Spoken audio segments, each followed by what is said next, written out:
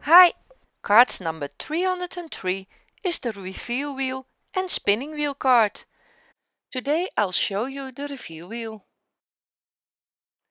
For the reveal wheel you die cut twice the largest square out of black cardstock, once the smallest square out of cardstock. I use Crealies pigment colors on this cardstock. Once the circle with scalloped edge out of white cardstock. Once the circle with two flaps out of craft cardstock. There are four circles. Die cut the largest of these four circles out of black cardstock. Draw a diagonal cross on the green square.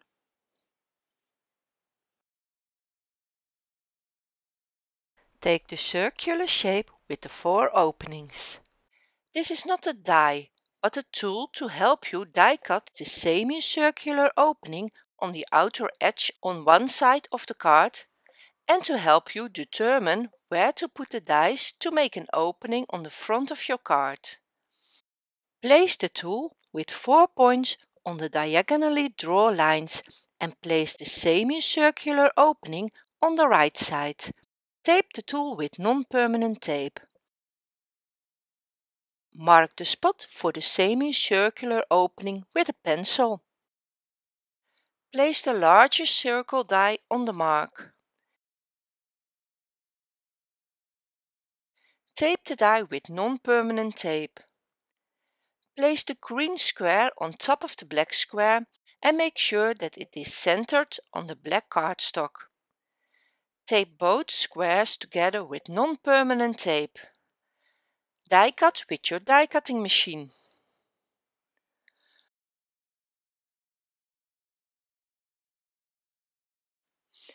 Draw a diagonally cross on the black square. Take the white circle with the scalloped edge and the small craft colored circle with two flaps. Place the tool on the white circle. Make sure the eight protruding points are all in a scallop and all the same distance from the outer edge. Mark the center point, for example with a pricking tool. Take the circular die with the small circle opening and place it in the center of your white circle. Stick with non-permanent tape and die cut with your die cutting machine. Place the die on your black square where the pencil lines intersect. Stick with non-permanent tape and die cut with your die cutting machine. Erase the pencil lines. Place the white circle on top of the black square and align the openings in the middle. Fold the two flaps of your craft colored die cut circle. You now have a kind of brad. Put the flaps through the opening and bend the flaps open again at the back. Glue the flaps and stick the black die-cutted circle to hide the brad.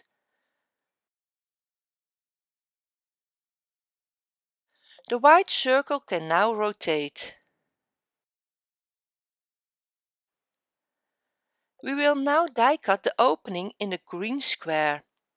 Get the tool, choose which shape you want and place it at the top. I choose the curved shape. Make sure the four points are on the diagonal lines. Tape the tool with non-permanent tape. Take the matching die and place it in the opening.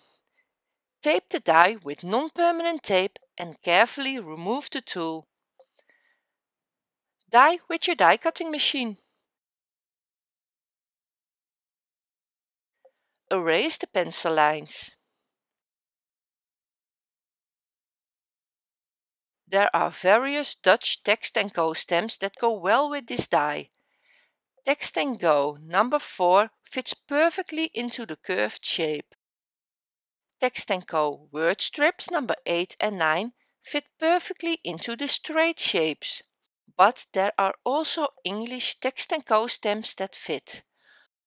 For example, Text & Go number 9 fits perfectly with the heart-shaped opening.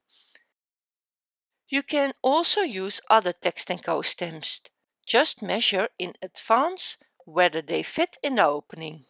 You can stamp the text in the right place in two ways.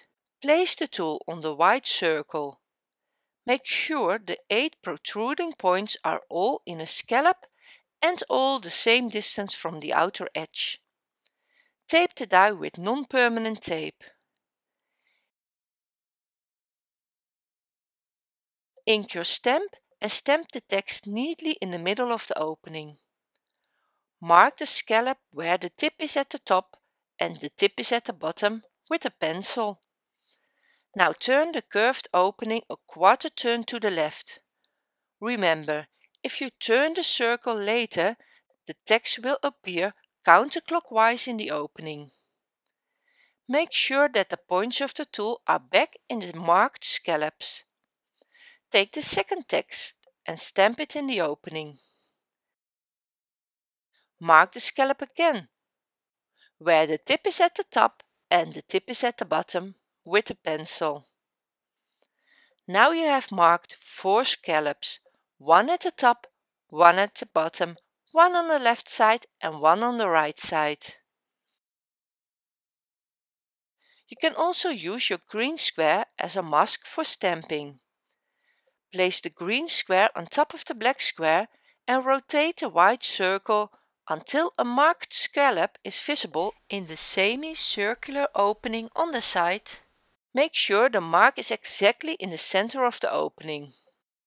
Pay attention that an equally white black border is visible on all sides of the green square. Tape both squares together with non-permanent tape. Stamp the text in the opening.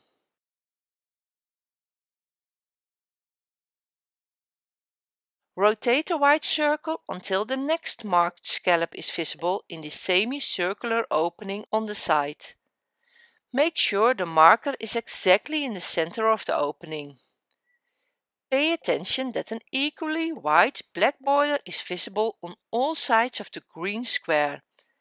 Tape both squares together with non-permanent tape. Stamp the text in the opening.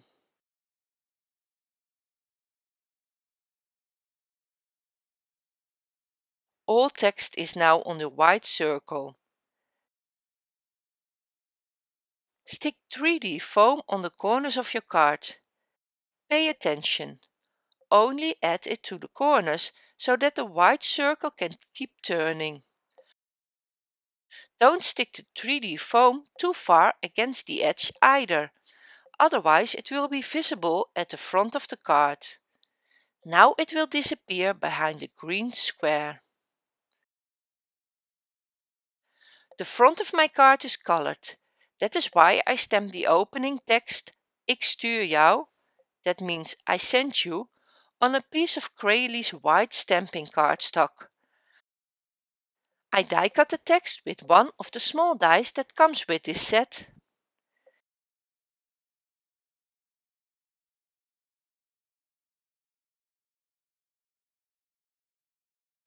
Make a 1 cm score line on the second black square. Fold the score line. Stick red sticky tape on the strip and remove the protective layer. Stick the square behind your reveal wheel card. Your card will stand up best if you make the hinge on the left of the card.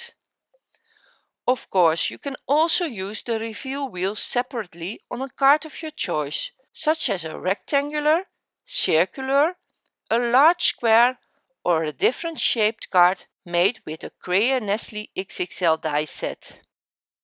Finally die cut the circle with the arrow out of white cardstock with Crealies make a sticker out of your die cutted shape behind it. Your reveal wheel card is ready to decorate. Have fun with this reveal wheel card. Next time I will show you the spinning wheel card. See you next time. Bye!